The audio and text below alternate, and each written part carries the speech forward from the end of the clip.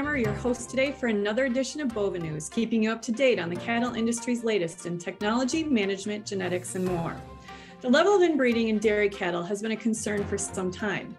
Over the past few years, however, the greater use of genomics has impacted inbreeding percentages and raised the conversation to a new level, especially regarding genetic diversity.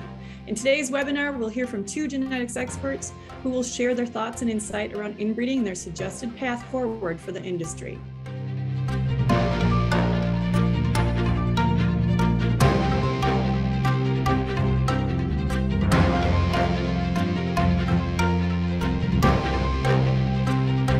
First presenter today is Dr. Chad Dechow from Penn State. Dr. Dechow is a native of New York State and grew up on a small dairy farm that milked Holsteins and a few brown Swiss. He has degrees from Morrisville State, Cornell University, Penn State, and the University of Tennessee. Chad's general research interest is the development of genetic selection strategies to improve productive efficiency while maintaining genetic diversity and high levels of cow health and fertility. His current research projects include the effect of disease on telomere length, selection for cow health in organic dairy herds, genetics of feed digestibility, and characterization of lost male genetic lineages. Dr. Dechow has teaching responsibilities in the areas of animal genetics, dairy cattle selection, dairy herd management, and the use of dairy management software. He also co-advises Penn State's Dairy Science Club and is the coach of Pennsylvania's 4-H dairy judging team. Welcome, Chad. Thank you, Kim, and it's my pleasure to be here to talk about a little bit about inbreeding, some of the different perspectives that we have on this. I don't know, I will just state from the beginning that I don't know that I necessarily have all the answers. So it's good that we're at least having this conversation. And what I want to do is start by actually quantifying how much inbreeding we're seeing. So in this slide here, I plotted the inbreeding trends for all of our major dairy cattle breeds. And kind of I've highlighted Holstein and Jersey a little bit thicker lines so we can see those a little bit more clearly. And as you can see, we 1960 is our base level of inbreeding. And since that time, we've accumulated about an additional 8 to 9% of inbreeding in our Holstein and our Jersey cattle populations. Now, that number, 8% or 9%, I don't know that that's necessarily an important number at least not to me. What is important is the speed at which we accumulate inbreeding. Because inbreeding is going to happen at some level whenever we're doing genetic selection. And it's just matter of managing it really. And what you'll notice on this chart is that there's kind of two periods where we see an elevated rate of inbreeding.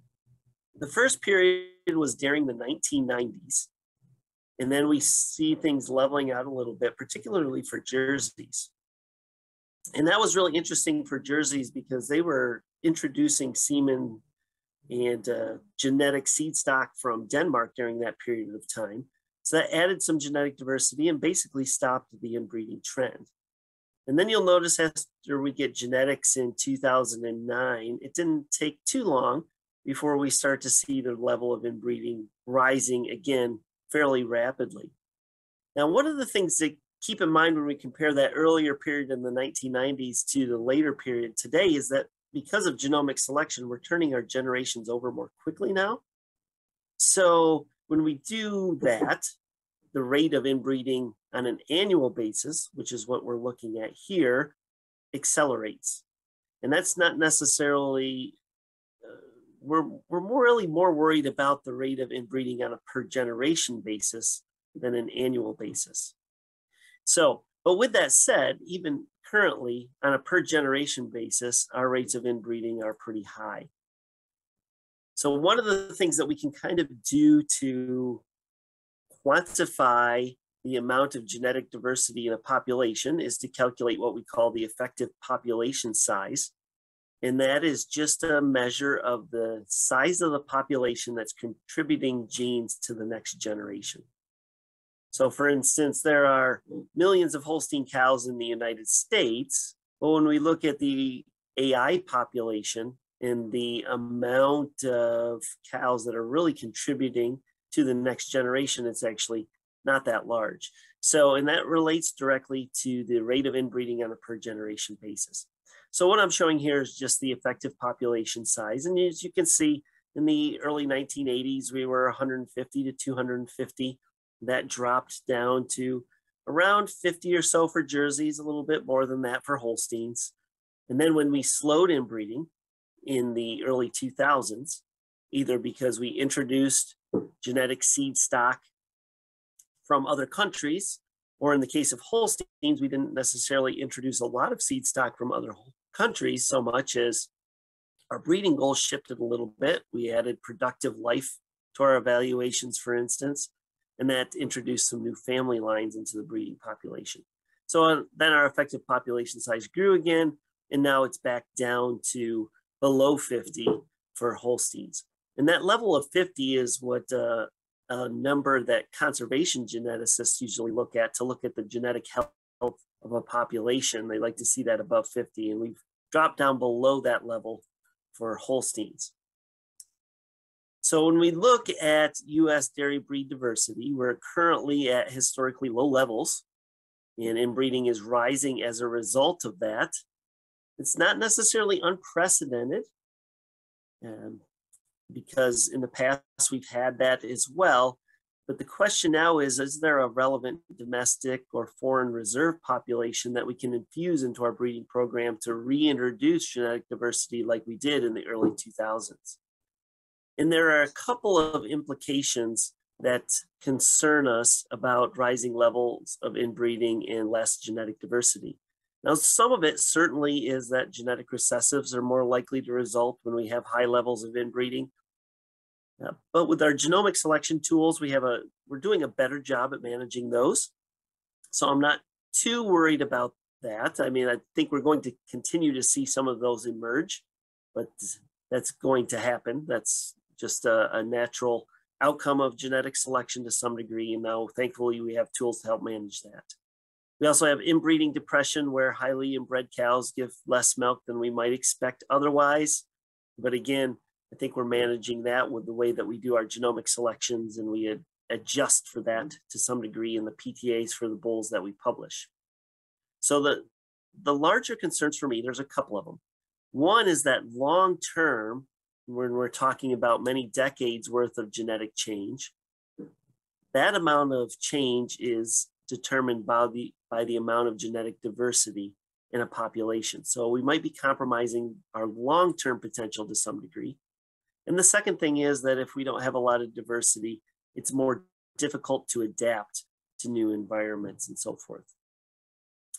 So this slide here, what I'm showing you is the selection limit relative to 2008 for protein yield.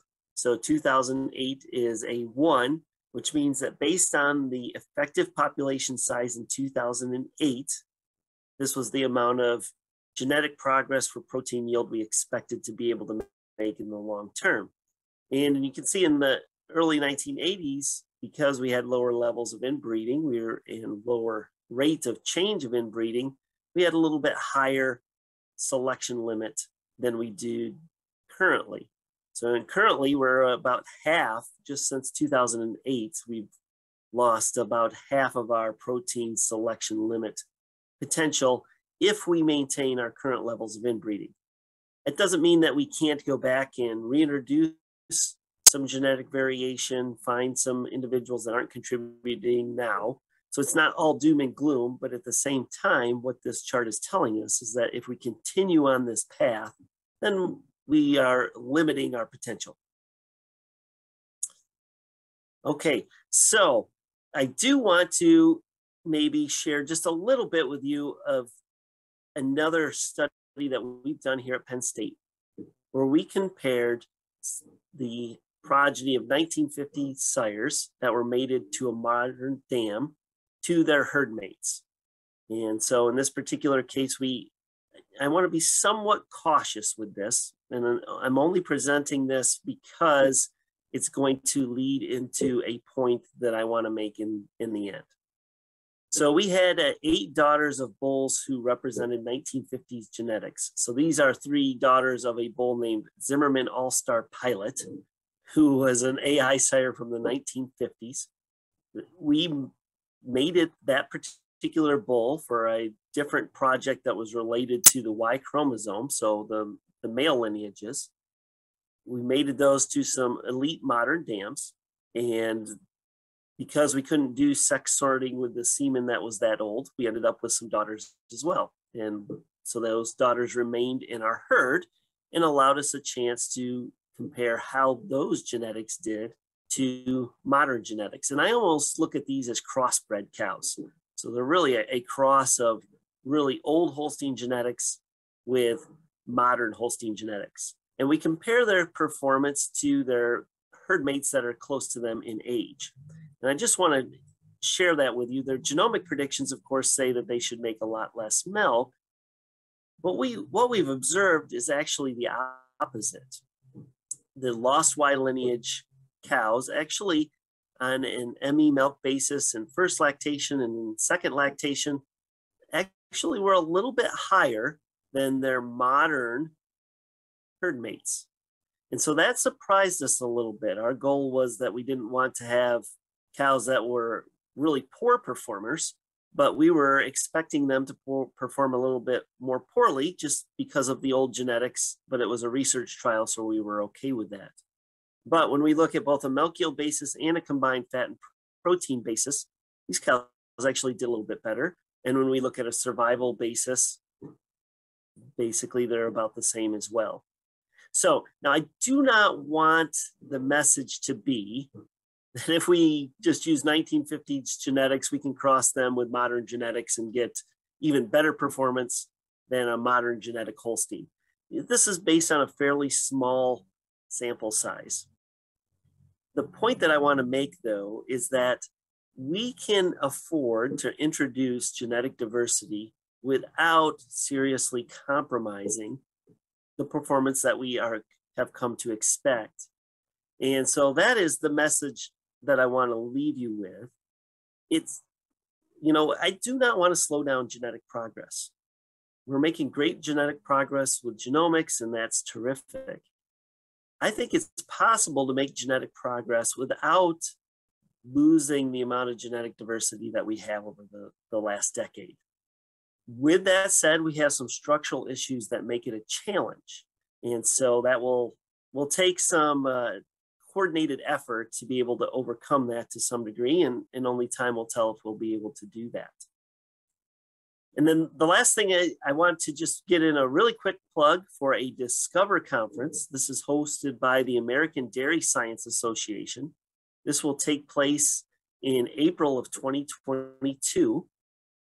And what we'll be talking about here is managing genetic diversity for future dairy and livestock breeding. So it'll be there's there's a few people that are concerned about the level of inbreeding that we have, and this uh, conference is dedicated to trying to come up with potential solutions to help to have both the best of both worlds, maintain our current levels of genetic progress, but to protect genetic diversity so that we continue to make genetic progress long into the future.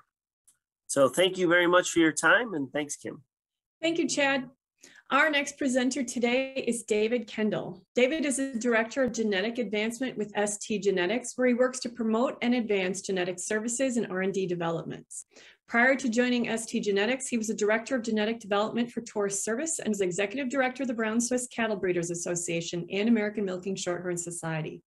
He has also served as a past chair of the Council of Dairy Cattle Breeding and is currently a member of the NAB Dairy Sire Evaluation Committee and Inherited Biochemical Defects, as well as the National Animal Germplasm Dairy Committee. David's passion for dairy genetics has taken him around the world, traveling to numerous countries, all for the purpose of helping dairy producers achieve their genetic goals. Welcome, David. It's kind of always humbling to follow Chad, and, and what I'm going to be talking about kind of reemphasizes some of the points that Chad has made during his presentation. So I want to talk about genetic gain and inbreeding in the age of genomics. As Chad noted, genomics offers the opportunity to increase the speed of genetic gain by giving us a more accurate analysis at an early age, of which allows us to lower the generation interval. And that's a crucial point, lowering that generation interval. Unfortunately, one of the side effects of that lowering that generation interval is actually to increase the level of inbreeding. Let's look at a couple of examples. Begin with, let's look at the rate of improvement in fat and protein. On the left is, a, is the chart for fat, and on the right, the chart for protein. If you notice about 2010, when genomics came into play, the rate of increase in both of those traits, uh, the slope actually increased substantially. Genomics has definitely allowed us to improve the dairy cattle population at a much faster rate.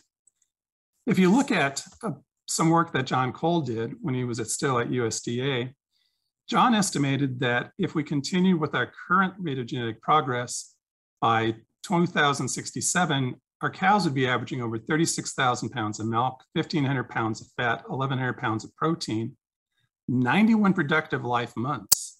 They'd be a smaller cow with gorgeous udders, very fertile, and all that from continuing on the, on the current process of genetic improvement.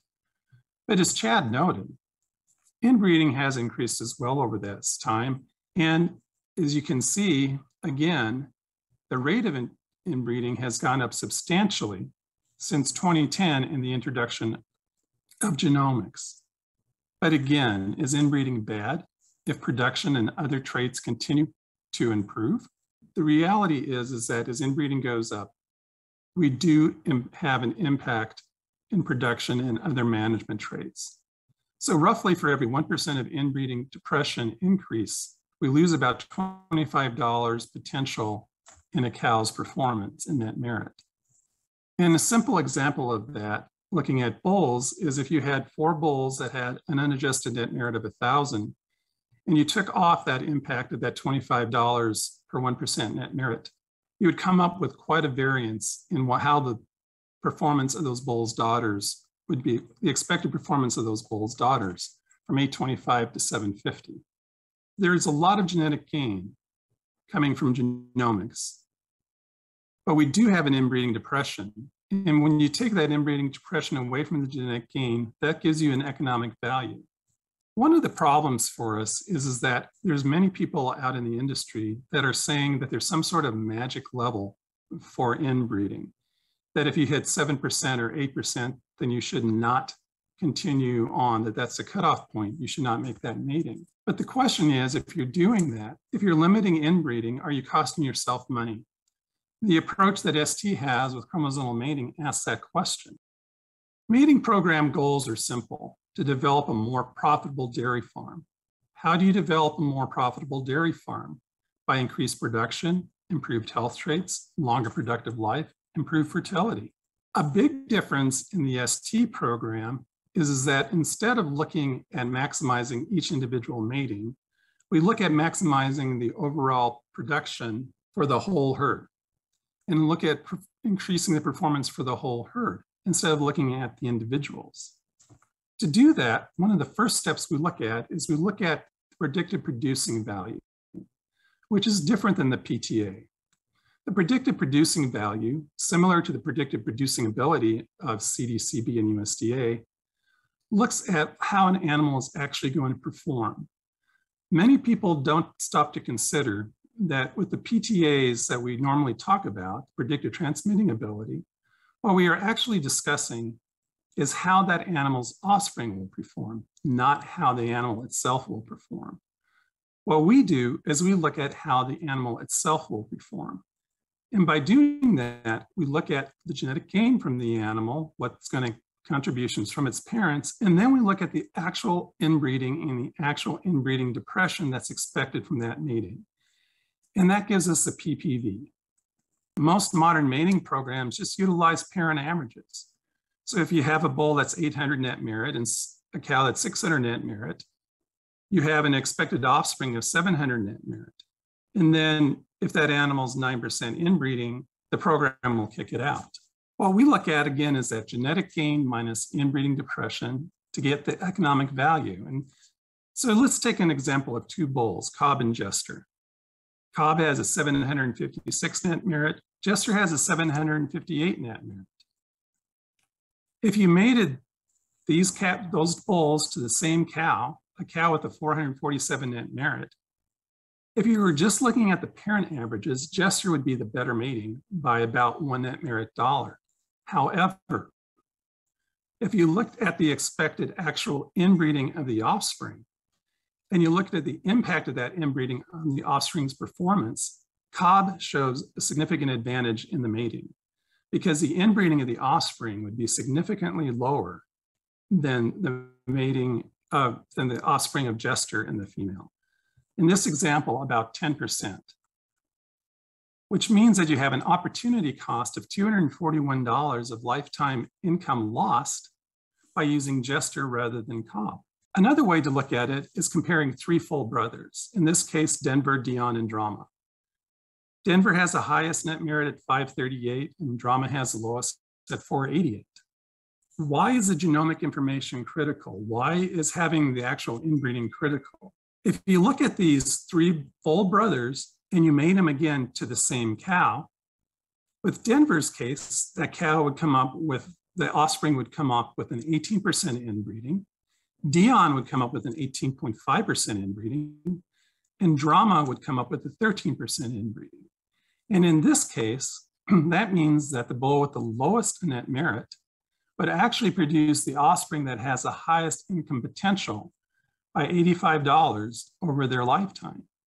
So again, what we're interested in looking at is the actual impact of inbreeding combined with the estimated performance of, their, of the parents' transmitting ability to come up with a more accurate way to give you a more profitable animal. There's three ways to avoid leaving money on the table. First, it is crucial to utilize a mating program. And when we're talking about a mating program, we're talking about a mating program that incorporates genomics. If you do not know what the actual genomic profile is of your cows and of the bulls that you're using, then you're not going to have an accurate estimation of the inbreeding of those offspring. But if you had that actual optimization of the inbreeding of the offspring using what we call the predicted producing value, then you have the opportunity to actually control for inbreeding while maximizing your income, which is a goal. Now, this is not to say that there's a lot of issues related to inbreeding. We don't have all the answers.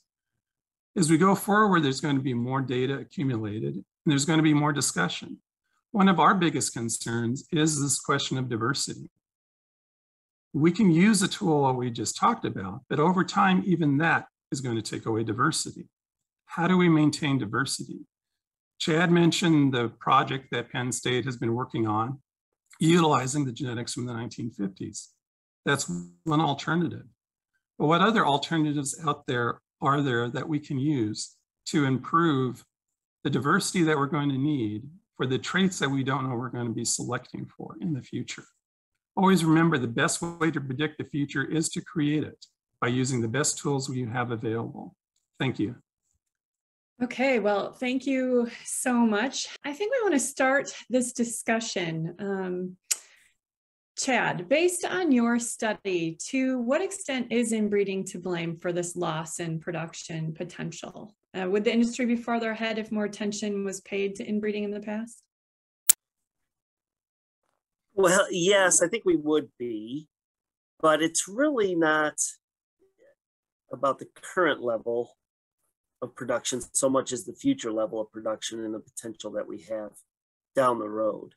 So you can uh, attempt to completely avoid inbreeding. And if you do that, you will make no genetic progress. So at some point, inbreeding is going to occur.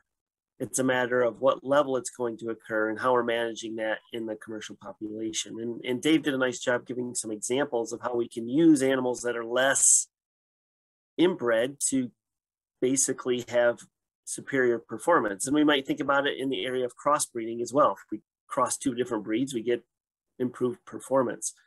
And so my concern is that if a an individual breed becomes loses genetic diversity to the point where you really don't have that opportunity available to you anymore, then then the pure breeders are a little bit out of luck in terms of trying to compete with crossbreds. And as a pure breed enthusiast, I don't want to see that happen. So to what extent is crossbreeding a solution to managing the inbreeding in dairy herds? At the commercial farm level, I think we're seeing a huge increase in that currently. we're going to continue to see that down the road in the future, I think.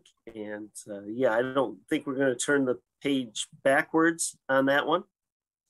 But in order for crossbreeding to be successful, we need good purebred lines or breeds as well. David? Yeah, I'm just echoing Chad to a large extent, but one of my, my concerns about what happens with crossbreeding these days is that it's really unfocused. And so people simply believe that crossbreeding is a solution to all their problems, whether it's production fertility. And the truth of it for me is, is that the purebred breeds are making phenomenal improvement. You know, it, if you look at the rate of improvement in Holsteins and Jerseys in particular, it's astounding. And one of the issues that I like to focus on is the improvement in fertility, and particularly in Holsteins over the last 20 years, which is a combination of things. Management's Ovsynch has definitely contributed to it, but so has the genetic improvement. I think that it, it is, I think that Chad's right. I think crossbreeding is definitely here to stay. I do think it'll probably be expanding, but I am really concerned again that people go about it without really having a direction or an idea about what they're trying to accomplish. And instead of looking for continuous improvement, they look at heterosis as some sort of magic key to the whole thing. And if we don't have the purebred populations that continue to improve, then we're just going to end up with a mess as far as breeding populations or producing populations. So, on a scale from one to 10, one being not concerned at all, 10 being highly concerned, uh, how concerned should producers be about inbreeding? And what should they be looking at the most? So, I guess it depends a little bit on what we mean by producer. If I'm talking about a commercial producer whose revenue is milk and they don't really pay a lot of attention to that, they like working with cows, but pedigrees and genetics aren't necessarily their interest, then I don't know that it's that high of a number, four or five. On the other hand, if you're a pure breed enthusiast, if you're a Holstein Association member and you want to see the Holstein breed continue without having to source some of your genetics from another breed to infuse genetic diversity, then I think it's an eight or a nine. And uh, so to me, it's it's about kind of where you are in that commercial milk production versus a purebred breeder perspective. David? Yeah, I, I actually think that maybe, especially with the, the rate of inbreeding that's continuing to go up, that it should be a little bit higher concern for the commercial producers than that even. But I think that that again, it, it's important for those commercial producers to actually utilize all the tools that are available to them. You know, if you don't pay attention and you start suddenly creating cows that are 25 or 30% inbred and you start seeing a negative impact because you weren't paying attention, it, you could have a lot of problems. And with the current trend that's occurred with that's going on in the industry where studs are becoming much more predictive of genetics, I think that there's a real potential for that to happen if you're not paying attention. Now, I, every stud is concerned about this, right? It, this is not like something that isn't discussed in every single office and every single lab around the world when it comes to the, the studs and genetic diversity and what's happening. But I, with Chad, um, normally I agree with Chad on a lot of stuff. This one, I think I'd be just a little bit, say that the commercial producers should be a little bit more concerned than, than that, maybe a six or a seven. Um, and I think the purebred breeders really have to be concerned. I think the studs, the people who are actually distributing the genetics really should be the ones who are concerned the most of all, because we are the ones who, if something goes wrong, it's going to come back on us. So, you know, we have a real best interest in making sure that we understand what's happening and that we do it right. And probably part of the reason I give a, a, lower number to one and a higher number to the other is I do think the group that needs to be most worried about this is the group that's least worried about it. To some, I shouldn't say they're the least worried about it. They're the most hesitant to talk about it, I guess, as some of the breed association and, and bull stud level folks. The commercial producers know it, it's a problem. Uh, they have crossbreeding at, at their disposal pure Holstein breeders do not. Pure breed, Jersey breeders do not.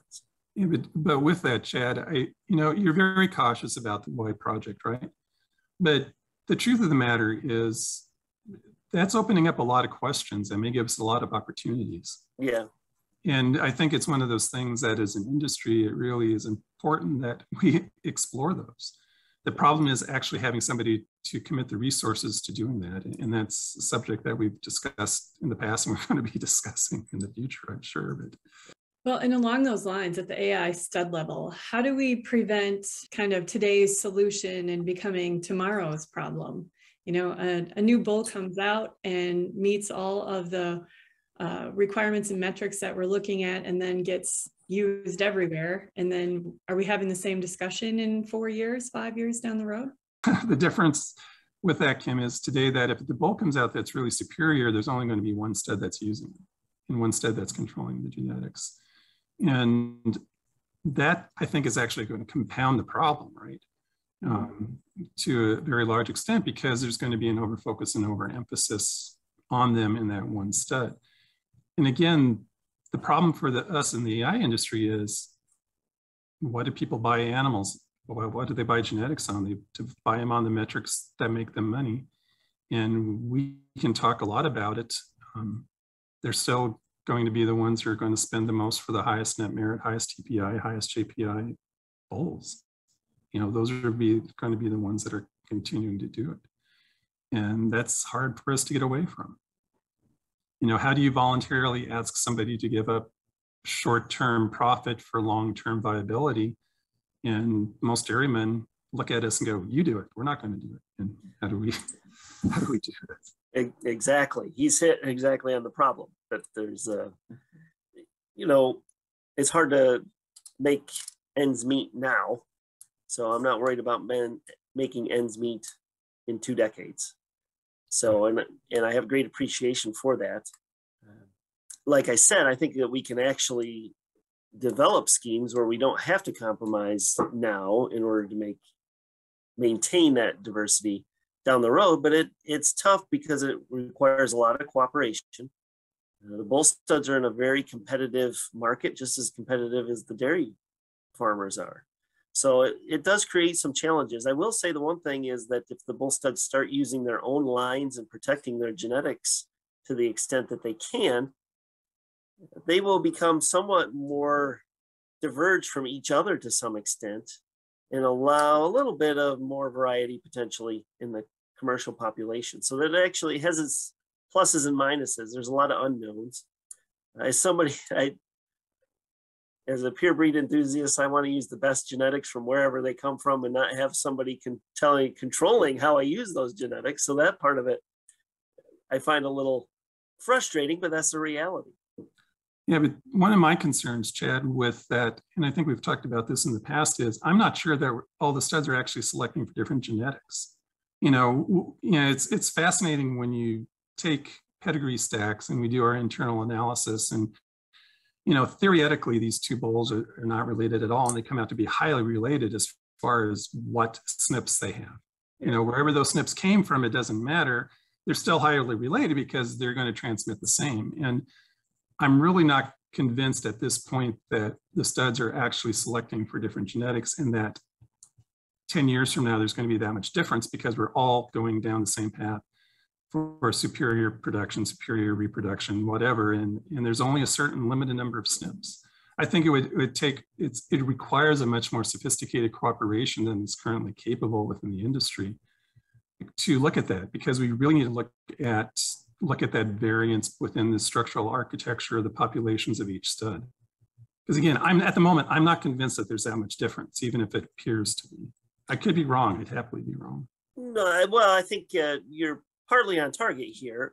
It's but some of that is because we have a national evaluation system that's using the same genotypes from all the studs in their PTA predictions. If the studs are using their own internal predictions, it'll deviate the GPTAs a little bit more. That's true. So looking to the future, what I'm hearing both of you say is our industry needs to do a better job of managing inbreeding together. Would that be the best solution? That would be the, uh, from my perspective, that would be the ideal solution. Whether that's realistic or not, given the market dynamics, is a different question for me, it's a slightly different phrasing of the question is that we need to maintain the opportunity of diversity of genetics. The problem is, is how on earth do you document the value of that diversity as far as performance when you're working against a reference population. You know, this is that is a major concern. If we actually have stuff that we've selected against, we it's drifted out of the reference population and it's not going to be reinforced when we do the national evaluation. Maybe we can pick it up, Chad, on the internal. Yeah, that's it's a very good point, and it's uh, I I thank you for saying that because that's something that I really do agree on. But um, you know, I'm still I'm still more intrigued about using the old genetics or sourcing using them as a touchstone, using those animals that are not in the genomic population. But again, that would require cooperation because the cost of it would be substantial. And right. And, and or better genomic methodologies. I'm not smart enough to know what those better genomic methodologies uh, methodologies are, uh, but we are very aware that the frequency of a favorable allele has to be pretty high to detect that effect. Mm-hmm. And so that is a, a, challenge that we have is that our current system is not designed to detect diverse outlier pedigrees and reward them with high PTAs. You can really only get that through evaluating daughters. And uh, that that day is is come and gone. So yeah. so it, it is tricky and with better methods, maybe that will change down the road, but we're not there yet. Well, we look forward to continuing to follow this discussion and continue this conversation on such an important issue. My thanks to Chad and David today for joining us and sharing their invaluable expertise and experience. I'm certain we'll be following along at ADSA in the spring as well, Chad. Uh, don't forget to subscribe to the BoviNews channel on YouTube. Find our BoviNews podcasts on your favorite listening platform or find more information at bovinews.com. Thanks for tuning in with us today. We'll see you next time on another edition of BoviNews.